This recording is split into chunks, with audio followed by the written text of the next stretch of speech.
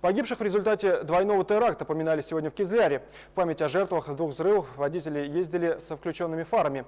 На одну минуту весь автотранспорт Кизляра прекратил движение по городу. Протяжные гудки клаксонов еще раз напомнили жителям о трагедии. 30 марта около ОВД города Кизляра с интервалом в несколько минут два смертника привели в действие взрывные устройства. Известно имя одного из них – Дауд Джабраилов. Господи, не мама.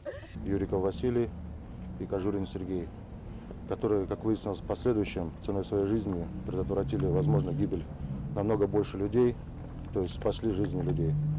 И сегодня мы не можем оставаться равнодушными, поэтому мы с личным составом сюда пришли почти техния память. В последующем они будут представлены, видимо, дальше Министерством внутренних дел Российской Федерации.